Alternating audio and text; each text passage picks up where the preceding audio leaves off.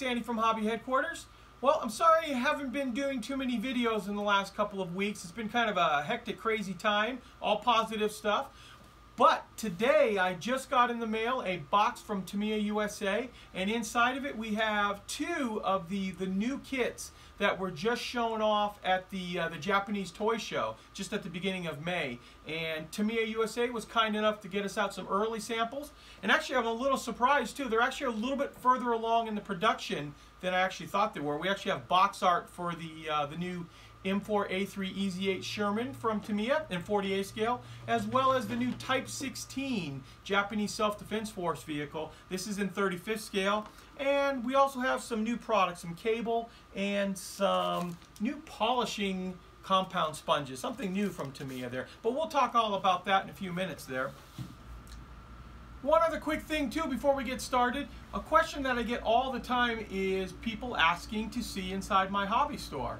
And I always take for granted that many of you are thousands and thousands of miles away and don't get a chance to come in and take a look. So what I thought I would do is just take just a minute or two. I'm going to just quickly take the camera and just quickly buzz around the entire store, say a few things about it. Uh, it'll be no more than two minutes tops on it right there. And that way it'll give you guys an idea. I am very, very thankful though. A lot of you are coming out to actually visit. When you're visiting Phoenix, you stop by and it's great to see all of you. and absolutely humbled by the experience of having you guys come in just to see me and the store. So thank you so much for that. Now, after I show you that, the, uh, the little video of the store will be right after the intro. I do plan on building both of these models, so these videos will be the next two model videos coming out, basically. So, let's get started on it.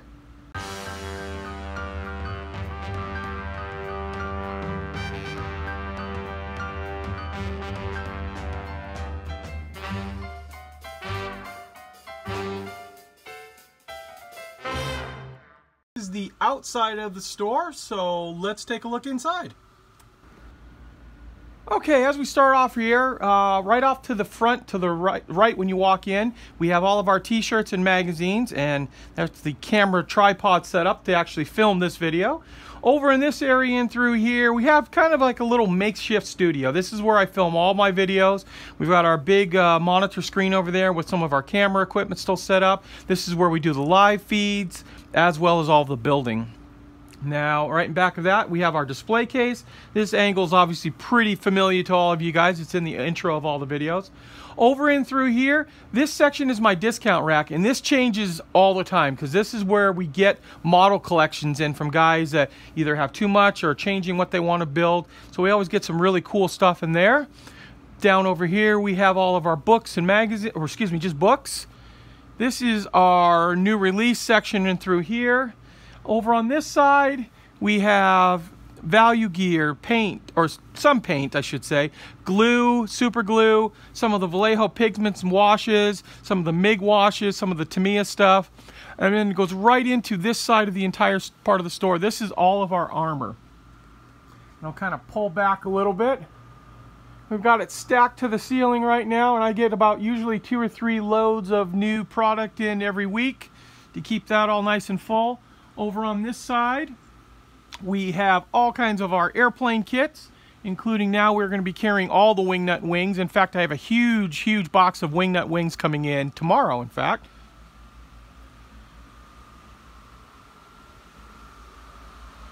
Quickly go to the back over here.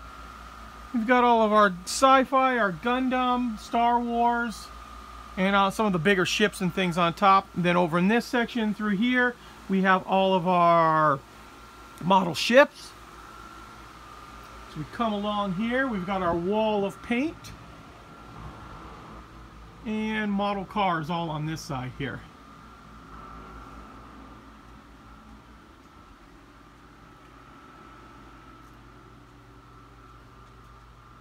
And then of course all the tools, paintbrushes, things like that. Okay, now that we've taken a look inside the store, let's take a look inside this new kit. And the very first one we have up is the Type 16 Maneuver Combat Vehicle, Japanese Self-Defense Force, or Ground Self-Defense Force, I should say.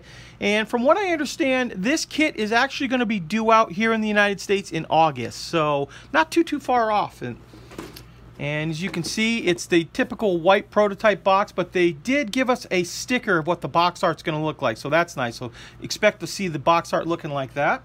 And then I'm just going to move this over to the side and we're just going to break down the individual parts or sprues I should say. And at the very end of the of me talking, I'll have them laid out and you can take a closer look at them if you want.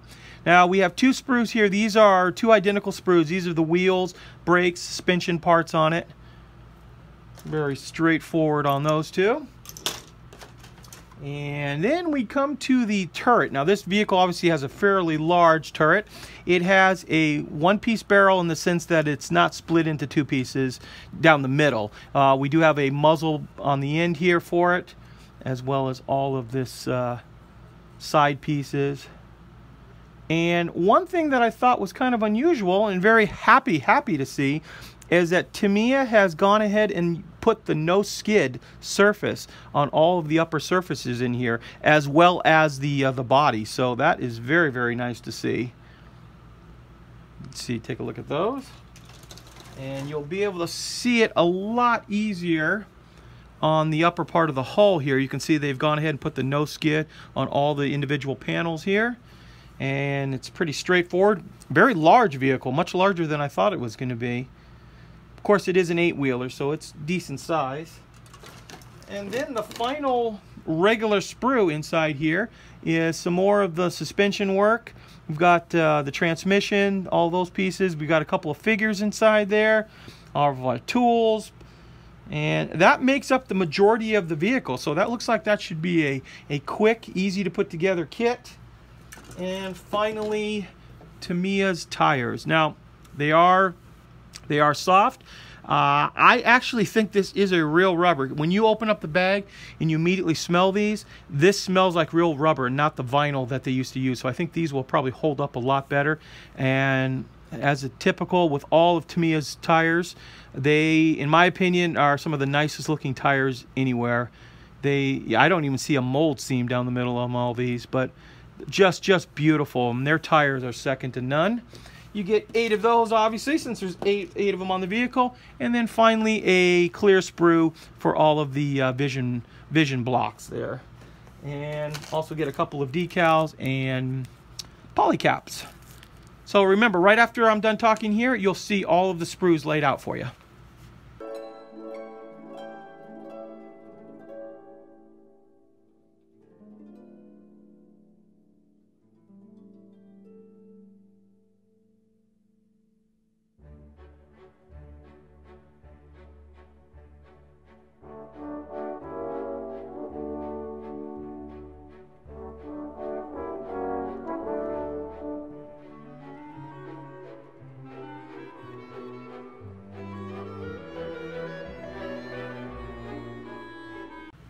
The next kit we're going to take a look inside is the new 148 scale M4A3E8 EZ8 Sherman.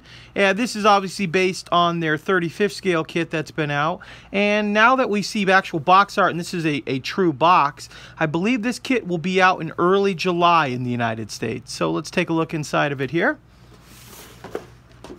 So let's take a look at the parts here. To start off, we have our upper and lower hull and as you can see it is a multi-part lower hull very very similar to the way the uh, the 35th scale kit was. We have the sides of the sponsons right here have covers over it so you won't see any of that light bleed through if you you know have your turret open. And just looks looks like some nice uh, molding. The hatches are all molded into place on here and your transmission cover has the separate bolts up front here on it as well now we can take a look at the, the turret as well as the engine deck and the figure. And you can hopefully see there's some nice texturing on the, uh, the actual uh, turret as well on the sides here, giving it a nice effect. The, the barrel is mostly one piece for the entire tube part, and only the muzzle brake is broken up into two separate pieces here, just one half on one and one half on the other. So that looks pretty easy and straightforward to put together. And finally, you're going to get two of the same sprue here. And it's basically your wheels, your link and link track. So you've got a couple big pieces for the, the bottom and the top and some of the pieces that go up and then you just have to glue together a few of these pieces here.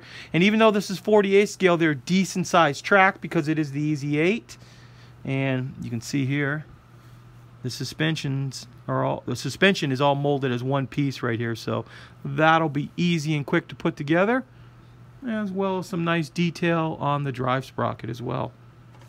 And like I said you get two pieces of that obviously for one for each side you get a separate sprue here for tools the 50 cal which that is for 48 scale is molded very very nicely and finally, you get a set of decals for both the white and the black stars. And of course, the typical weight, which this is kind of broken up a little bit different than normally. These are actually little tubes of metal that, or not tubes, uh, sticks of metal basically that have some good weight to it so the vehicle doesn't feel like it weighs absolutely nothing. And like I'm saying, this kit is due out in early July and has a retail of about $33.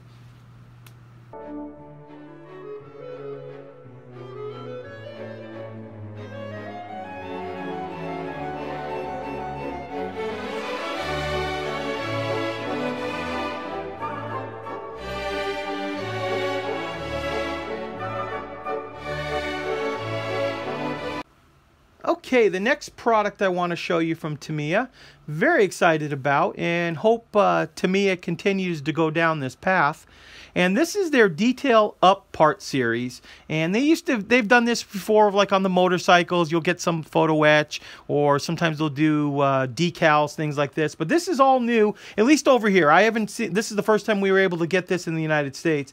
And this is all of their cable and it comes in four different sizes to start and it comes in half millimeter 0.65 millimeter 0.8 millimeter and 1 millimeter. And this is just ideal that if you're detailing up a, uh, a car engine or want to put brake lines in this stuff is the stuff that I used on the Ducati in fact.